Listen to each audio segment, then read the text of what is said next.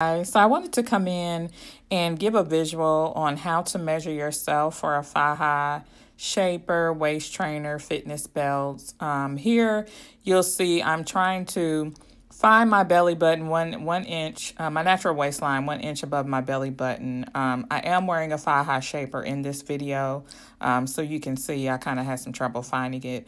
Um, you can really use, if you've been waist shaping or waist training at all, you can really use the dips in your hourglass to kind of find um, that um, that natural waistline. So there you see me measure my waistline.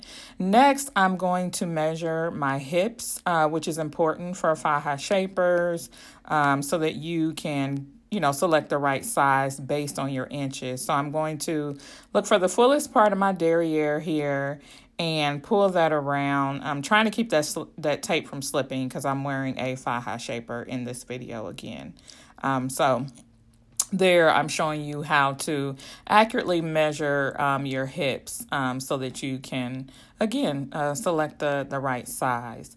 Next I'm going to measure my bust line which is um, pretty important for a full body um, shaper where you're you know it's a, a, a built-in bra. And then also a vest um, fitness vest as well. You want to measure the fullest part um, of your bust line. Um, here in this video, the shaper kind of pushes uh, my boobs up. And then that bra as well kind of is kind of giving me trouble. So it's kind of adding a couple inches that really don't exist here.